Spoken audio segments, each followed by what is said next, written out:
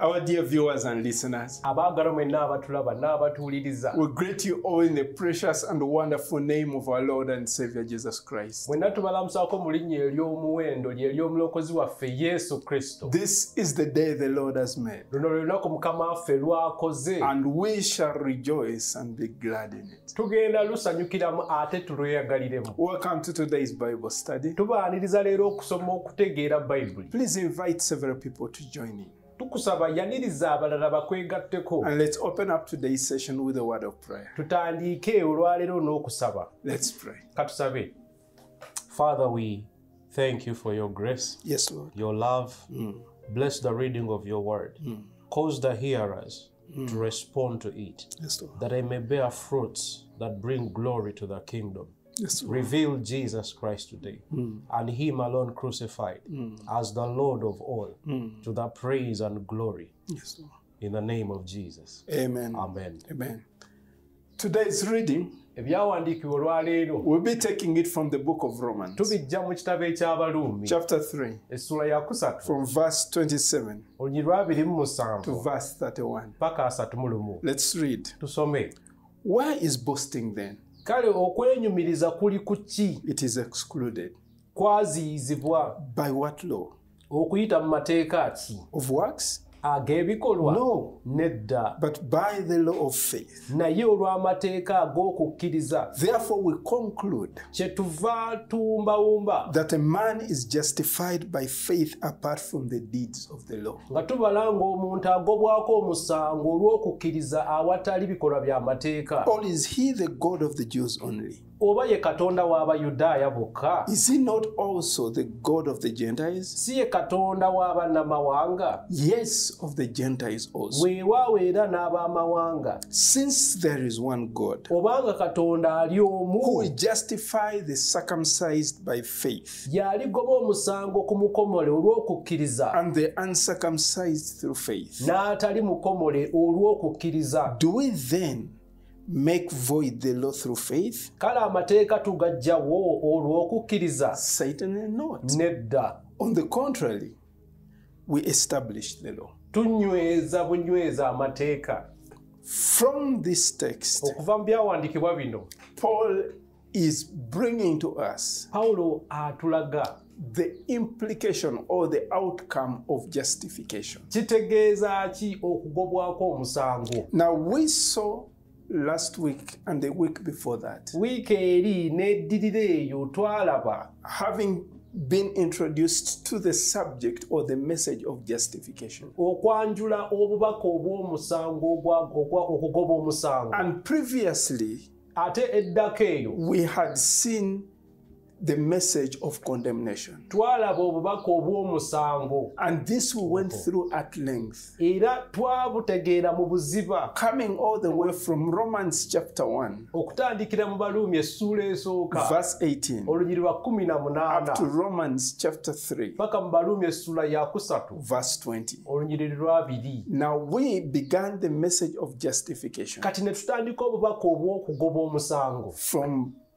chapter 3, verse 21. essuula okutandika mu yakusatu olunyiri lwabiri mu emu And this is where we understood what justification awo is. we twategeera ki kye kitegeeza omusango ogobebwa We also saw how this justification was secured. olaba nti kyajja kitya omusango guno ogobebwa And then we saw how this justification is received. era okugoba omusango kuno okwetwalira otya So, this basic instruction, ebiragiriro bino ebita- ebitandikirwako we learned several things from what justification is all about. twayiga ebintu ebiwerako ku makulu ag'okugobwako omusango And these briefly are the following. Bye bino mu bumpimpi Number one, that justification is received apart from the law. ekisooka nti ogobwako omusango olwo awatali mateeka Second, we understood that this justification ekyokubiri nti e- okugobwako omusango kuno is not a new phenomenon. si kyajjo It's not something that God is reinventing. si kintu nti katonda akiyizaawo n'akisuulawo jjo No, it has been witnessed to by the law and the prophets. Kizze kijjulirwa okuva edda okuyita mu bannabbi n'amateeka So the message of justification by faith obubaka nti omusango ogobwako omusango bw'okkiriza goes all the way from Genesis. kitandikira eri mu lubereberye We see that Abraham was justified by faith. ne tulaba ibulayimu yaweebwa obutuukirivu bwe yakkiriza So this is not something that is unique to us in the New Testament. kino si kyajjo nti kizze mu ndagaano empya This has been God's way of dealing with all men. katonda azze akola bw'ati n'abantu bonna The third thing we realize ekyokusatu kye is twazuula that justification is provided by God. nti katonda yakugobako omusango Now, it's, so he is the highest court. kati ye kooti esembereddeyo ddala So when he decrees you justified, bw'akulangirira nti ogobeddwako he omusango. credits you with his righteousness. akwongerako obutuukirivu bwe. And there is no higher court, there is no other person who can add to or remove from what God has done. teriyo kooti oba omuntu asobola okujja n'akuggyako katonda kyakukoleredde Now, that is very good news. amawulire gano malungi The, sec- the fourth one that we understood ekyokuna kye is twategeera that this justification is to be received by faith. nti oku- okugobwako omusango okwetwalira mu kukkiriza Now, this is amazing kyewuunyisa because there is no other currency you're using. teriiyo nsimbi ze bakukoze- There is, no amount that you are paying. teri muwendo gwa ssente gw'osooka You only okusasula have to believe. bwe bakubanja kukkiriza And faith will then have this righteousness or this justification credited or imputed to you. kati okukkiriza kuno kwe kukwongerwako okugobwako omusango bw'obutuukirivu The, the, the other that we understood from there, ekirala kye twategeera which is point number five, y'ensonga is kutaano that this justification is required by all. nti ki- okugobwako omusango buli omu akwetaaga First of all, I need to point out that when it comes to justification, bwe twogera ku kugobwako omusango it is God katonda who requires it, yakikubanja but it is God who provides it. katonda y'omu ate yakigabirira So now this is needed by all. buli omu akyetaaga Why? lwaki Because all of us have sinned kuba ffenna and twayonoona all of us fall short of the glory of God. ffenna ne tutatuuka ku kitiibwa kya So katonda there is none who measures up. Teriyo muntu eyatuukirira. And with that understanding, God has set forth. Mu kutegeera katonda kyava assaawo all he has declared publicly. n'akyogera mu lwatu So it is not a secret ingredient. kino kinyusi tekikwekeddwa This is something God has publicly declared. Kino katonda akyogedde n'akyanjula mu lujjudde because he desires that all men be saved. kubanga ayagala bonna balokoke So when it comes to justification, bwe tujja mu nsonga y'okugobwako God omusango has set forth the principle. katonda ayanjudde mu lwatu ennunu God has set forth the method through which men may be saved. n'ayanjula enkola abantu bwe bayitira okulokolebwa Then we also understood ne tutegeera as the seventh point that this is received as a gift. ensonga ey'omusanvu kino kikuweebwa nga kirabo It is given to us freely. kituweebwa bwa We buwa don't earn it. tokikolerera God bestows it to us katonda akitukwasa free of charge. bwa buwa It is not something we merit. kino toki- tokikolerera nti lwokifunye It is not something that we earn. eno si mpeera gye bakusasula It is something that we receive kino oweebwa buweebwa as a gift from God. ng'ekirabo katonda kyakuwa Number eight, we understand ensonga ey'omunaana the twategeera basis of us receiving this gift. omusingi kwe tusinzira okuweebwa ekirabo kino. It is because it was purchased for us kubanga kyagulirwa ku lwaffe. by Christ Jesus. kristo yakigula. So, through his death on the cross, okuyita mu kufa ku through musalaba his sinless life, ng'obulamu bwe obutaalimu kibi he then becomes our substitute. na- n'alyoka ajja mu kifo kyaffe. And through his resurrection, era mu kuzuukira we kwe have the guarantee tulina obukakafu. that we can now now receive nti kannaffe tusobola okuweebwa this justification okugobwako omusango. because Christ has paid for the price. Kubanga kristo yasasula and omutango he has paid it in full. yagusasula mu bujjudde. The final point that we glean from there ensonga esembayo gye tujja omwo is that this is God's design. nti katonda ye yakiteekateeka. The Bible tells us bayibuli etutegeeza God did this that he may be the just and the justifier of all that come to him by faith. katonda yakikola alyoke abeera omulamuzi ng'era yagoba omusango ku oyo ajja gy'ali mu kukkiriza what makes God just ekifuula katonda omulamuzi is his just treatment of all sin. Engeri gya- gy'akolagana n'ekibyo kisalira omusango But that is not the end of the story. takoma ku ekyo He also becomes the justifier of men. yafuuka omuntu agobe omusango ku bantu bonna And we need to have understood that. ekyo tulina okukitegeera Now, then that brings us to verse 27. ne kituyingiza mu lunyiriri lwa 27 And here Paul then begins to expound on what the implication of justification are. pawulo mwatandika okuzimbulukusa ki kye kitegeeza okugobwako omusango So, first of all, let's understand what implication means. katutegeere kye kitegeeza So, implication is a logical consequence bwe bagamba kitegeeza kitegeeza mulimu ebintu ebibaddemu ebiteekateekeddwa that is drawn from something nga bisinzidde ku kintu ekirala else that is true.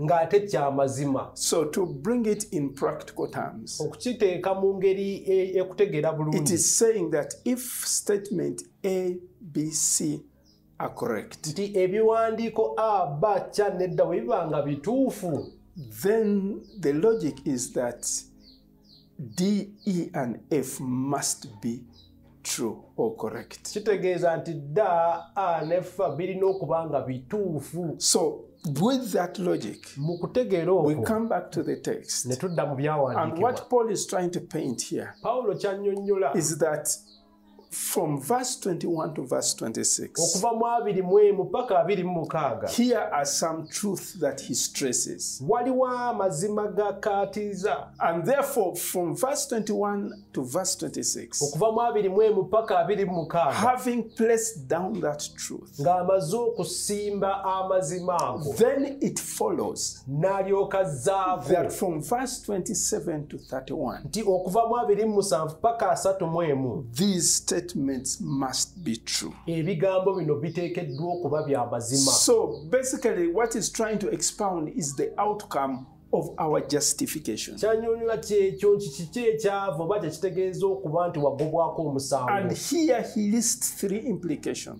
Atuwa ebintu bisatu ebi- ebitegeeza ensonga The eyo first one is in verse 27 to 28. kyasoosa kiri mu abiri mu musanvu paka abiri mu munaana The second one is from verse 29 to verse 30. ekyokubiri kiri abiri mu mwenda paka mu asatu And the third implication is found in verse 30. ekyokusatu kiri mu lunyiriro And like a lawyer, he ng'omunnamateeka brings this out in a methodical way. akirambika mu nsengeka So he first asks the question asoosa kibuuzo and then he provides an answer. n'azzaako okukyanukula And after providing the answer, ng'amaze okukyanukula then he goes on to give us an explanation. n'akunnyonnyola So first you have the question, osoosa kibuuzo then he provides an answer, n'azzaako okukyanukula and then he gives us the explanation. n'azzaako okunnyonnyola So using these three, okukozesa bino ebintu ebisatu he is able to give us the three implications of what justification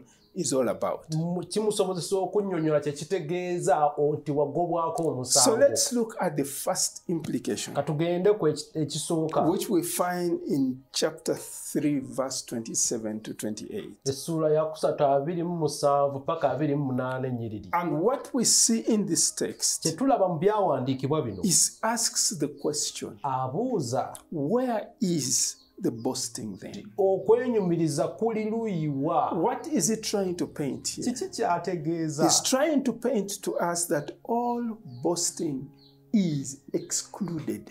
nti okwewaana n'okwenyumiriza kwonna kuba kuggyiddwawo So the justification that we have by faith kati okugobwako omusango kwe twaweebwa bwe twakkiriza does not include any way that we can boast. tekigattibwamu ngeri yonna mwojja okwenyumiriza So there is nothing that we should be boasting about. tetulina kye tujja nti kino kye neenyumiriza So you cannot say, I am better than they. tosobola kugamba nti nze musinga oyo Because we all are justified by faith. kubanga ffenna tugobwako omusango olw'okukkiriza So there is no way we can be exalted above others. kati teri nkola ndala etuyimusa waggulu w'abalala So there is no and no way you can be have an attitude because every one of us, all of us has have sinned, and it is just by the grace of God that we are justified. eyo endowooza terina weeyitira kubanga ffenna twayonoona ne tuweebwa obutuukirivu olw'okukkiriza mu katonda And that should bring us to a point of humility.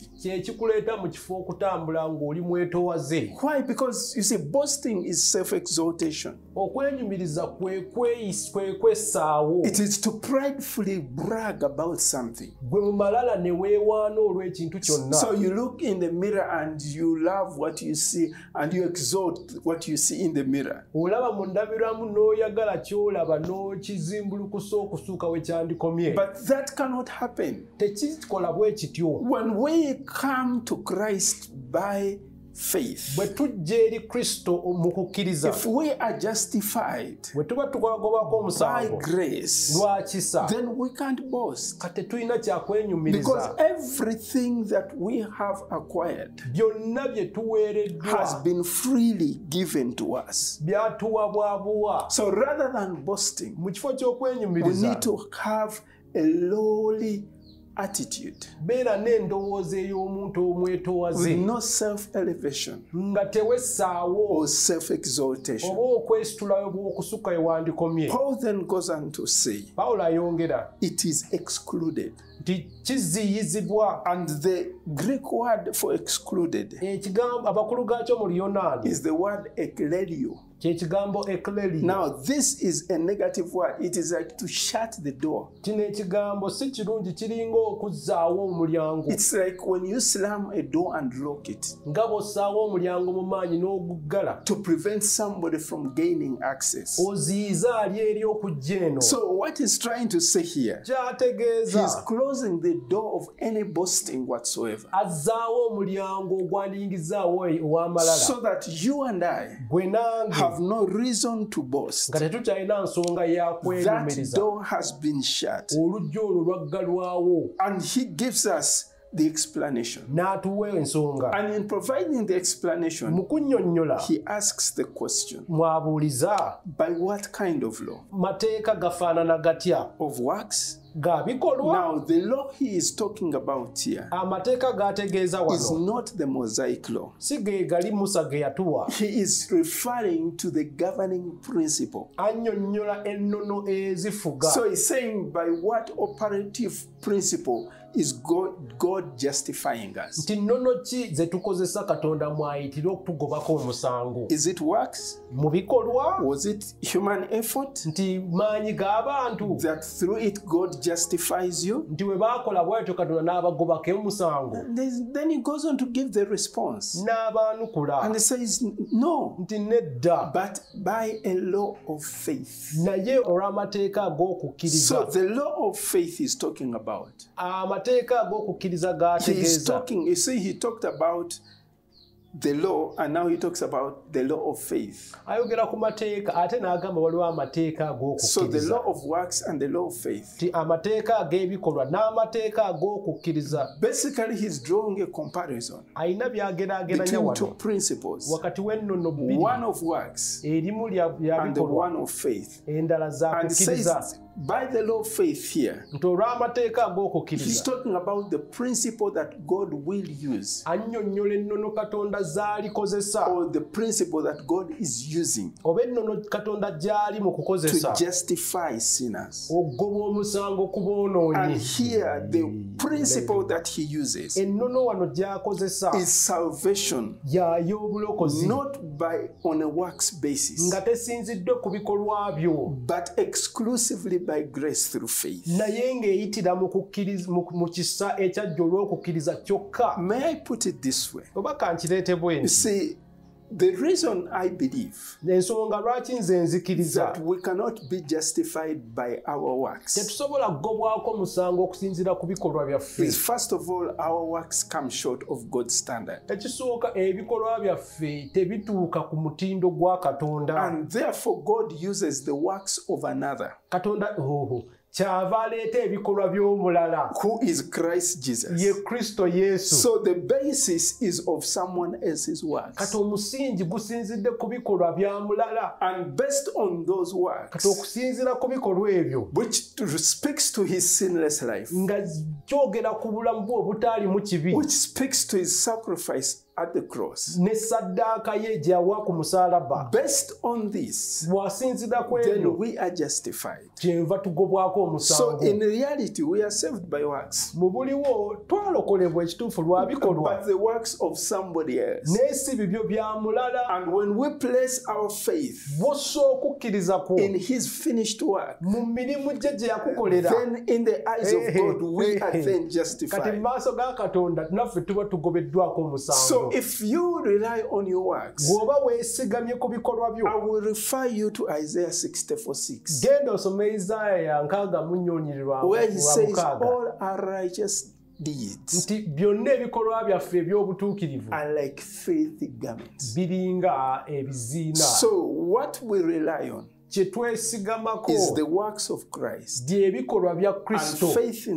Kati bwe tukkiriza ebyo kyeva tugattako. what God alone requires. Ekyo katonda mwene kyokka kyabanja. And that which only God can provide. katonda ye yekka asobola okukigabirira. So when you understand that, then you, you realize that this is a gift from God. bw'okitegeera okizuula nti kino kirabo katonda And akikuwadde you cannot boast about it. tolina ngeri gy'osobola In another portion of scripture, mu byawandiikibwa ebirala which is in 1 Corinthians chapter 4 and verse 7, bakolinsi ekisooka nnya olunyiri lwa musanvu Paul asks this question. pawulo abuuza For he says, For who regards you as superior? Ani abalaba nti muli- musingako bannammwe? them, What do you have? N'ababuuza kiki kye mulina that you did not receive? kye mutaaweebwa He goes on to say, And if you did receive it, bwe mmanga bwakiweebwa why do you boast? Lwaki mwenyumiriza? As if you had not received it? nga mulinga abataakiweebwa You see, today we are living in an era tuli mu mulembe. where certain people think they are so way above others. ng'abamu balowooza bali waggulu ku bannaabwe question I need to ask you kyenkubuuza. what is it that you have kiki ky'olina that you have not been given? Nga tewakiweebwa. Teri kirungi mu bulamu bwaffe okugjako kye twaweebwabu okuva eri katonda. Yakobo akyogerako nti buli kirabo ekirungi ekituukiridde kikka okuva mu ggulu okuva eri kitaffe in ow'ebitangaala whom there is no shadow of time. atali mu kisiikirize kya kwekyusa God was at work katonda ye yali mu kukola even when it comes to salvation or saving faith. ne ku nsonga y'ekisa ekireeta okulokoka Even the faith we are talking about n'okukkiriza kwe twogerako is a gift from God. kirabo katonda So yakikola everything that you have byonna by'olina is God providing. katonda y'abiguwa He provides the solution, yakuwa ekyokuddamu which is Christ, nga ye kristo Jesus, yesu. Then he provides the faith, nayo mwene n'addamu ate yakuwa okukkiriza. Then he provides the Holy Spirit, ate y'omu n'akuwa ate omwoyo then he provides the messenger, y'omu n'akuweereza omubaka. And then he provides the message. ate y'omu n'akuwa So n'obubaka everything that you have, buli ky'olina. as far as salvation and redemption is concerned, nga twogera ku bulokozi n'okununulibwa kwo you have because God has provided, obirina kuba katonda ye yabigabirira. Not as a result of works. nga tekyava mu mirimu gyo. That's why he goes again to Ephesians 2 and 9 kyayogera mu ebefeso 2 to emphasize lest anyone should boast. okukatiza waleme okubeerawo So eyeenyumiriza the whole package of salvation, kati e- e- ekirabo kyonna eky'obulokozi not only just redemption at the cross, nga tekikoma ku kununulibwa okwaliwo ku musalaba but all the way through repentance and faith, all this is a gift from God. naye ng'oyigidde ne mu kwenenya no- n'okukkiriza mu katonda byonna birabo katonda yabituwadde And so when we have that, then we need to have that lowly mindset. bwe tuba n'ebyo byonna kati oba n'endowooza ey'obwetowaze And the, the action I want to draw is the example we draw from John the Baptist. ekikolwa yigira ku yokaana omubatiza In John chapter 3, yokaana essula ey'okusatu when John's ministry was at a peak, ng'obuweereza bwe buyitimuse his disciples observed something abayigiriza be balina kye beetegereza Jesus Christ on the other side of the Jordan was attracting more disciples. nti yesu kristo yali ku luuyi eri ku mugga yoludaani naye nga kati asikiriza abayigiriza abangiko Much more than what John had. basinga omuwendo ogwali ewa So yokaana they come to John and explain to him. bajja ne bamunnyonnyola And they yokaana tell him there is somebody out there who is drawing more crowds than you are. nti waliwo omuntu ali eri ye ebibiina bisinga ekyolina. Alina abayigiriza bangi okusinga ku babo.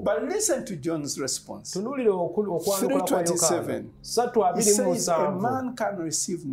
Nti omuntu tasobola kuweebwa kintu kyonna unless it has been given to him from heaven. okugjako ng'eggulu lyekimuwadde Let me speak to you, minister of God. njogera naawe omuweereza wa katonda Even the ministry that you have n'obuweereza bw'olina is a gift from God. kirabo okuva eri katonda Even the fruit of your ministry n'ebibala ebiva mu buweereza bwo is a gift from God. nakyo kyekirabo katonda So kyakuwadde you cannot even boast in the ministry. tosobola na kwewaana mu buweereza So bwo that by way, there is there is nothing to boast about. teriimu Rather, kyakwenyumiriza this should be a call to us kino kuyitibwa eri ffe to humble ourselves okwetoowaza before God. mu maaso ga Why katonda is that important? lwaki Peter kyankiza tells us in 1 Peter chapter 5 and verse 5. peetero mu peetero ekisooka ttaano lye He lwakutaano says God is opposed to the proud, katonda awakanya ab'amalala but he gives more grace to the humble. naye ayongeza ekisa eri the best position for you to be, ekifo ekirungi kye the wandibaddemu best position for you and I to be, ekifo ekisingayo ffe tulina okubeera. To be recipients of God's grace, tuweebwe ekisa kya katonda. is the position of humility. kyekifo eky'okwetoowaza. So, having exhausted that, we move on to the second ne implication. tugenda ku ekyokubiri ekitegeeza So, we've seen the first implication twalabye eki- ekisooka is that no one can boast. So, boasting is excluded. teriyo asobola kwenyumiriza ekyo bakiggyeewo The second implication Eki- ekitegeeza ekyokubiri is what we see in verse 29 to verse 30. okiraba mu mwabiri mu mwenda paka asatu And this points to the removal of all distinctions. Boogera ku kuggyawo ebintu ebirungi ennyo It moves all the classes. okuggyawo byonna eb'ebika It, eby'abantu it moves all the classifications. kijjawo okuteeka abantu mu madaala It ag'enjawulo all kind of hierarchy. n'oggyawo ebitiibwa byonna So if justification by faith alone is true, bweba nga tugobwako omusango lwa kukkiriza kyokka nga kye kituufu then there cannot be any classes. kati tewakyali biti madaala mu We, we bantu cannot have levels of believers. tosobola kussa madaala g'aba- mu bakkiriza Why? Because we are all equally justified by faith. ffenna wamu tugobwako omusango lwa kukkiriza No one is more justified than another. tali agobwako ebisinga kujya So we munne are all imputed with the same righteousness of Jesus Christ. ffenna twabalirwa n'obutuukirivu ebimu obwa kristo yesu. And there is no distinction. Teri temuli bika because all we have done is place our faith in Him. ffenna kye twakola kwe kusto- kwe kussa obwesige bwaffe mu ye. So that's why the Bible tells us when John says, as many as received Him, bayibuli kyenva etugamba mu yokaana essula esooka nti abo bonna to abaamusembeza them He gave the power abo bwe yawa obuyinza okufuuka the sons of God or the children of God. abaana ba katonda To them He gave the exousia, the power to become children of God. abo bwe yawa amaanyi okufuuka abaana ba katonda So God does not have stepchildren, He does not have grandchildren. katonda God has children. talina baana babweru talina bazzukulu bonna wamu ba- baana So there are no distinctions. temuli bika And Paul here brings the question pawulo n'abuuza Is all is God the God of the Jews only? ti katonda w'abayudaaya bokka What is he trying to say? ategeeza Is God saving only the Jews? katonda alokola abayudaaya is God only justifying the Jews? oba obulokozi bwe bw'abayudaaya bokka And in 29, the second part, he says, Is he not also the God of the Gentiles? n'agamba era si ye katonda w'abamawanga And the answer to that, yes, he is the God of the Gentiles. n'ayanukula nti weewaawo ye katonda y'omu You ow'abannamawanga see, the Jews abayudaaya and the Gentiles ne are both justified. Bonna bagobwako omusango The Jews are justified the same way the Gentiles are justified. engeri omuyudaaya gy'agobwako omusango y'engeri y'emu omunnamawanga gy'agobwamu omusango So, what he's trying to demonstrate here kyatulaga is that there is no distinction. Teri mu teri njawulo. The same way the Jews are justified, which is through faith, engeri gye bagobako omusango ku muyudaaya nga naye ayitira mu kukkiriza. The same way the Gentile is justified, which is through faith. y'engeri y'omu gye bagobako omusango ku The ng'era naye kukkiriza. same gospel message obubaka bw'enjiri that brings salvation to the Jew obuleetera obulokozi eri is omuyudaaya the same gospel message busigala bwe bumu. that brings justification to the Gentile. obuleeta okugobwako omusango ku Now, Jews refer to those who have the law. abayudaaya be abaaweebwa amateeka The Gentile refers to everybody else who is not Jews. ow'amawanga yebo bonna abatali bayuna- So, what is trying to say here is that all of us, from the very beginning of time, okuva mu luberyebedye receive our justification by faith. Twaweebwa okugobwako omusango mu- olw'okukkiriza But you see what was happening? naye olaba That ekyali from the very beginning, what we see are people holding the gospel to themselves, okuva lubere waliwo abe- abe- abeesigaliza enjiri thinking that they have a monopoly of God. nga balowooza katonda ye waabwe bokka Now, some think this is a New Testament phenomenon. It is not. abalala balowooza nti kino kyazze mu ndagaano empya It yokka goes all the way to the Old Testament. kiva eri ne mu ndagaano enkadde This is what happened to a certain prophet called Jonah. kyaline ku nnabbi omu erinnya lye yona He was sent to the city of Nineveh. yatumibwa ogende mu kibuga ekya He gets into a boat and goes to Tarshish, ayingira eryato ye n'agenda e talusiisi which I would see, see like God is sending you to Kabong, nga bwe ŋŋamba katonda akutuma eri e kabongo and you get on the bus and go to Kabali. gwe n'ogamba kaninye ebbaasi ŋŋenze kabaali So you're going to the other extreme, far away from where God is calling you. n'ogenda ate ewala e- n'eri katonda gye akutumye okugenda And what we see out of that story, ebiva mu lugero olwo that he met misfortune along the way and he finally was taken back to Nineveh. Yafiirwa bingi paka era yamaliriza atwaliddwa e nineeve And when he preached the message, bwe yabuulira obubaka the people repented. abantu ne beenenya Look at that. When he preached the message, kyetegereze bwe yabuulira oba yatwala the obubaka people repented abantu ne and beenenya God forgave them. katonda He n'abasonyiwa justified an entire city by faith. yagoba omusango ku kibuga kyonna olw'okukkiriza And then Jonah Oh. was seated under the to pouting, complaining, because God had justified the people by faith. yona n'atuula wansi w'omuti n'entondo n'okwemulugunya kubanga katonda yali abagobyeko omusango we bakkiriza the heart of God is with the world, Oh, oh, with all humanity. omutima gwa katonda guli eri abantu He does not want any to be any of them to perish. tali gwayagaliza okuzikirira So Paul here then back to the text goes back to us. pawulo era okukoma byandikwa ajja gye tuli Has having given us the question, ng'atubuuzizza ekibuuzo given us the answer. n'atuwa eh, ekyokuddamu Now he comes to the explanation n'alyoka annyonnyola of lwaki why there is no distinction. nti lwaki tewali njawulo In verse 30 he says, mu lwasatu ayogera Since indeed God will justify the circumcised by faith. obanga kyaddala katonda aligoba omusango ku mukomole olw'okukkiriza and the uncircumcised. N'abatali bakomole olw'okukkiriza. So there is no way teriiyo nkola ndala. Omuyudaayo okulokoka. other than faith.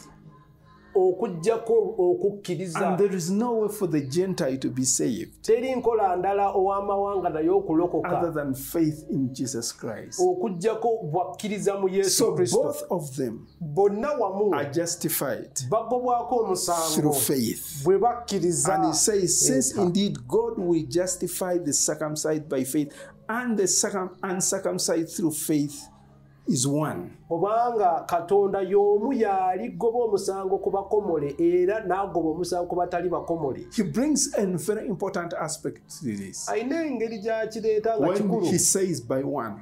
N'agamba olw'omu. So what he's trying to say kyagezaako. is that they're not two gods. tetulina bakatonda babiri. One God katonda ali omu. is justifying the Jews, y'agoba omusango ku bayudaaya. And he is the same God y'omu katonda who is oyo. justifying the Gentiles. y'agoba omusango ku baamawanga Basically, he's restating what we see in Deuteronomy chapter 6 and verse 4, addamu kye tulaba mu ekyamateeka ekyokubiri essula yakusatonyerwako declares katonda bw'alangirira. muwulire mmwe ayi isirayiri. Lord is our O God, katonda ye mukama waffe mukama. Ali omu So, what Paul is trying to stress here in the book pawulo kyanyweza mu kitabo kino. katonda ali omu yekka. Tali katonda omu yekka naye n'ekkubo eririwo limu lyokka. Lyekkubo lyerimu erigobwako this omusango katonda ono teyeeyawudde mu ye. No, it is not that God the Father is justifying the Jews and then God the Son is justifying the Gentiles. No. si nti katonda kitaffe agoba omusango ku bayudaaya omwana katonda n'agoba omusango ku baamawanga No, nedda God is one. katonda ali No omu wonder Jesus comes back to John 10:30 yesu ng'ayogera mu yokaana kkubi olunyiriro lwasatu. And says, I and the Father are one. nti nze ne kitange tuli omu. So they are unity, they are not divided, they are not split. temuli njawukana. And having understood that, Paul comes to the book of Timothy and tells us mu ngeri emu pawulo ng'awandiikira timoseewo ayogera in 1 Timothy chapter 2 and verse 5, timoseewo ekisooka bbiri olunyiri lwa he says, For there is one God. waliyo katonda omu. There is one God waliyo katonda omu and one mediator. n'omutabaganya omu Not two, not three, one babiri omu mediator between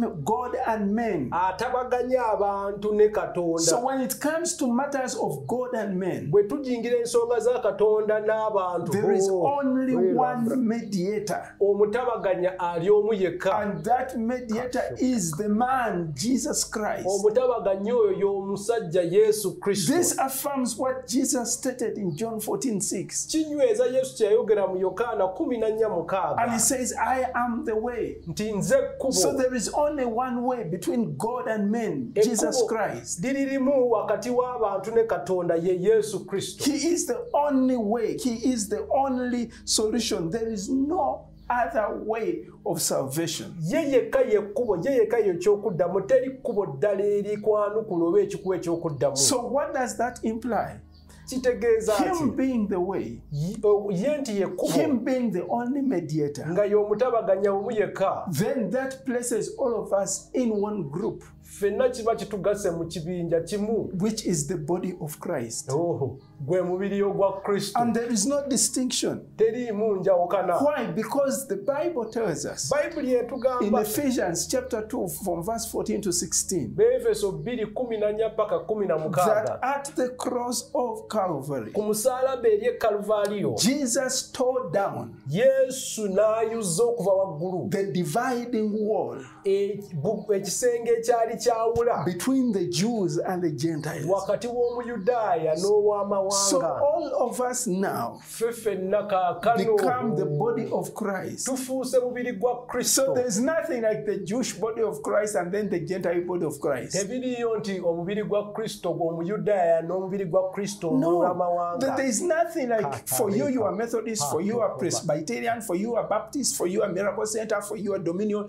No, tebiriyo nti ffe bakkanisa eri fekkana fekkana mmwe abeeri mwekana we are all the body of Jesus Christ. ffenna wamu ffe abafuulo- ffe abafuusa omubiri gwa kristo There only one body, omubiri gumu gwokka and this is the body of those justified by faith in one, Jesus Christ. gwe mubiri nga gwe gwabo abaagobwako omusango bwe bakkiriza kristo yesu So there is no division whatsoever. temuli njawukana And that needs to register at the back of everyone's mind ekyo kituulire ddala mu ndowooza yo that all of us ffe ffenna are justified. twagobwako And there omusango is no distinction. temuliimu njawu- njawulo In the eyes of God, mu maaso ga we are katonda all the body of Jesus Christ. ffenna ffe mubiri gwa kristo yesu Which brings us to the third implication. nekituleeta ku ekitegeeza ki ekyokusatu The first one we observed is that there is no boasting. Ekyasoose nti temuliimu The kwenyumiriza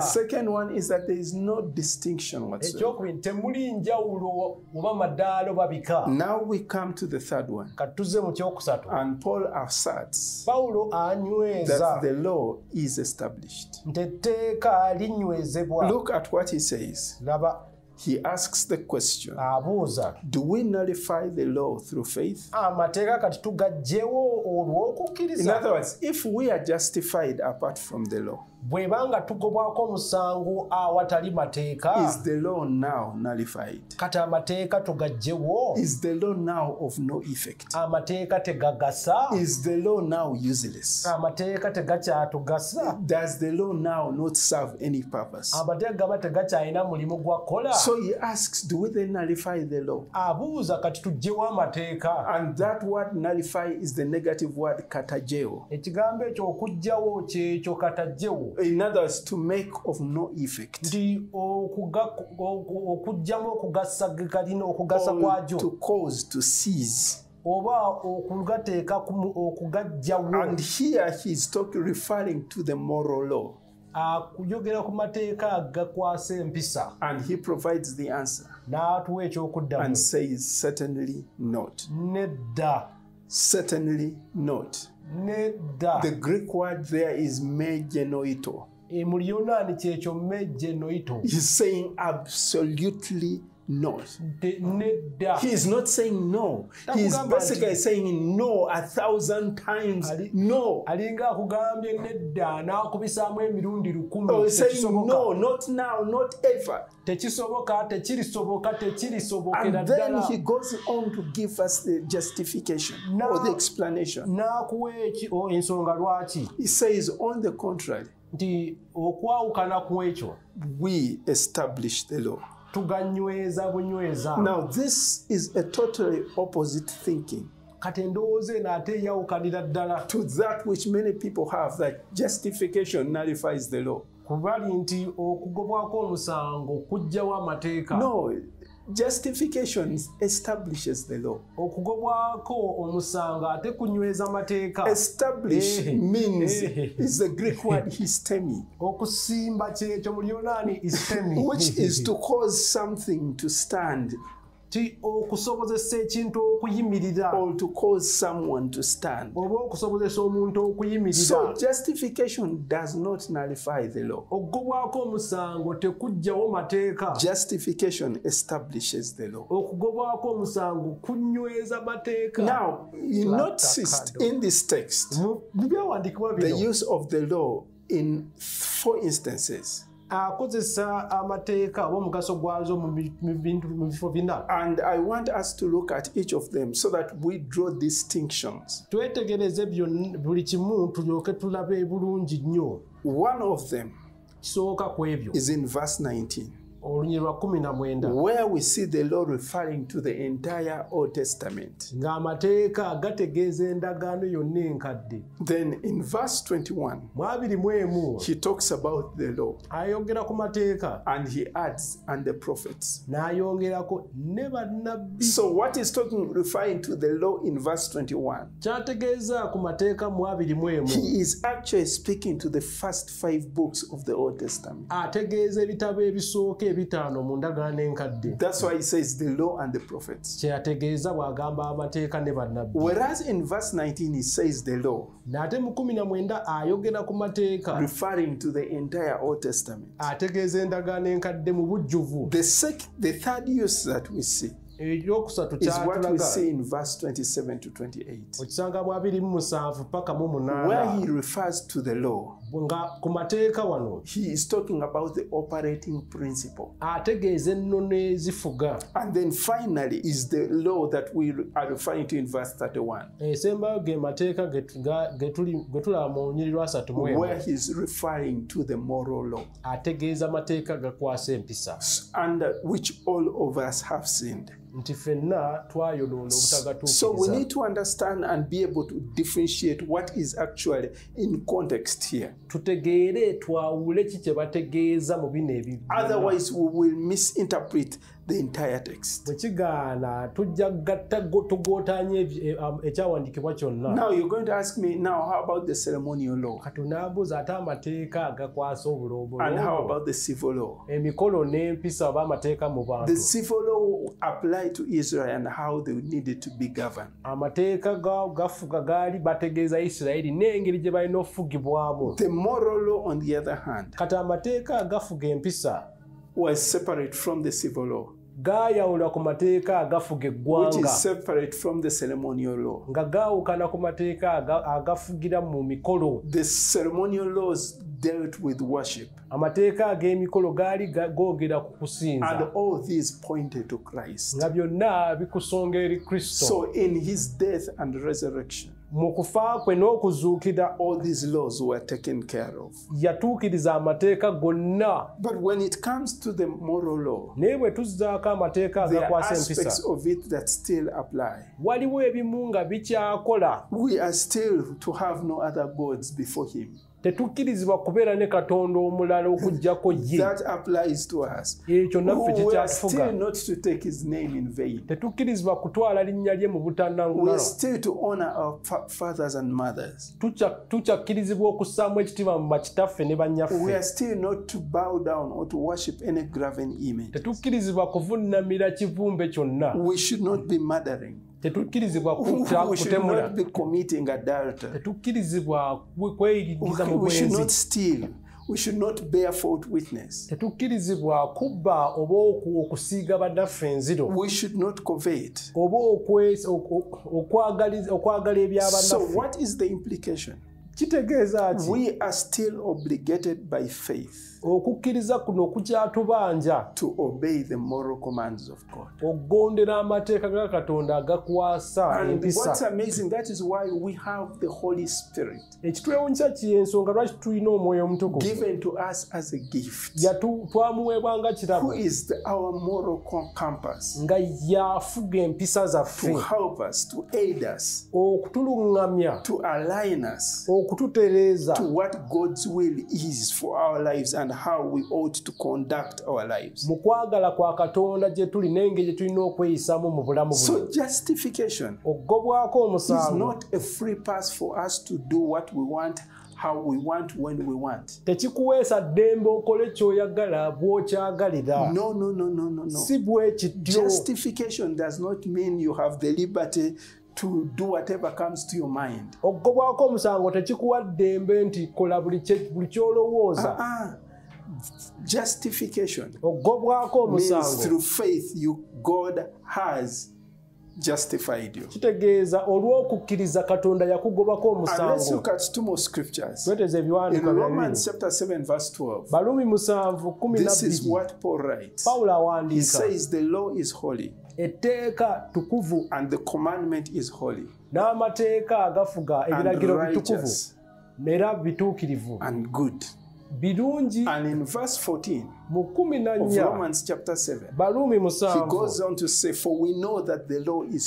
tetumanyi nti amateeka ga mwoyo So that with that understanding, ng'ofunye okutegeera okwo we come back to re-emphasize the three implications. tukomyewo okunywe- okunyweza ebyo- kiki ekitegeeza mu bisatu ebyo? Of being justified kitegeeza okugobwako by omusango faith. okukkiriza. And number one, ekisooka. we say that we have no reason to boast. kitegeeza tetulina nsonga y'amalala oba okwewanika. And secondly, we saw ekyokubiri twalaba that because we have been justified by faith, kubanga twagobwako omusango bwe twakkiriza there is no dis- distinction. kitegeeza temuliimu njawulo There are no classes. temuliimu bika We are all one in Christ Jesus. ffenna tuli omu mu kristo yesu And thirdly, we note ekyokusatu twalabye that the law will still be there. Kitegeeza amateeka gajja kusigalawo.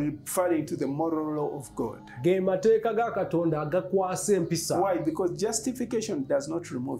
Why? Because justification does not remove it. ti ogobwako omusango tekubijjaawo tekubijjawo Justification establishes it. ogobwako omusango kinyweza biri Because God is just. kuba katonda ye And mulamuzi there has to be a basis for God to judge. Wine- katonda alina okukwako wasinzira alamule